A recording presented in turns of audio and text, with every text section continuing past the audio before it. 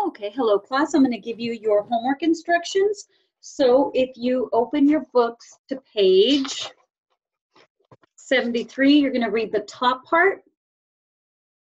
And then 15-3, you're going to write three times perfect each block. So the block is broken up 101 to 525, the first column going down. Three times perfect, okay? You have the steno outline there. The slash represents that it's a second stroke. And then you're going to the second column, 476 to 925. And then the third, 125 to 369, three times perfect, okay? Three perfect blocks. You make a mistake anywhere, you have to start at the very, very beginning of where you made the mistake, that column. And then you have page 73, times and dates. Make sure that you add commas in between. So you've got an example, 1 colon 00 to 12 colon 00. So it's going to be 1K RBGS, 2K RBGS, 3K, okay, and 12K. So uh, put your commas, RBGS in between. Okay. Just to break it up and it's easier for the grader, okay? And then so you've got, so you're gonna do the whole thing, okay? The whole time one through 12. And then you've got five times perfect.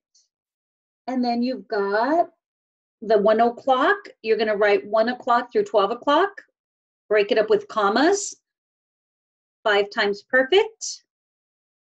And then page 73, the bottom, 530 to 355, write it five times perfect. You've got your notes there, so look at the notes on those sides of the times. And then you've got, next page, 74, you're gonna write AM, 8.30 a.m., 2 p.m., and 2.15 p.m. Write them just like they are, five times perfect, the whole group. You have the outline there on the right side. And then you've got 74, the days of the week and months of the year, five times perfect, the column. So Monday through Sunday is one column, five times perfect. January through June, five times perfect. And then July through December, five times perfect. Or you could do Monday through Sunday and then January through December all in one bunch, okay? Whatever's easiest for you. Remember, Saturday can be written S-A-R-D or S-A-T-D. And then make sure that you read on the note on avoiding conflicts, March and May, when to put the asterisk in, read it at the bottom there.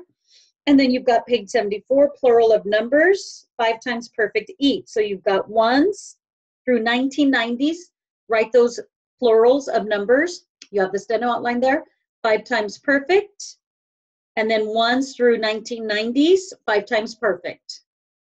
And then you've got the number exercise, 15-4, 1 through 35, the sentences. Make sure you include your numbers in periods, you all, or it's wrong. Look at the outline on page 74. For the stenographic, it's got a one period. So do it just like that. And you're gonna write each sentence twice perfect, okay? You've got the notes there, so make sure that you look at the notes. It's 1 through 35, a lot of sentences. And um, on page 76, you've got the notes that go with 15-4, the bottom there. Mom is in her 40s, okay? So look at the notes, that's what they should look like, and write the sentences twice perfect, okay? Take your time, y'all, it's a lot of work. Have a great day.